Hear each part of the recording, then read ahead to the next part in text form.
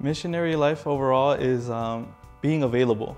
Like our founder Claret and like the prophets of the Old Testament, we're sent to, to go to the people with uh, kind of generosity, openness to be at the service of the people, reading the signs of the times, discerning the needs of the people. The goal of being uh, open to the Spirit, where the Spirit moves, uh, and you don't know. is to be with others, working for the kingdom of God, but also to be ready to be sent.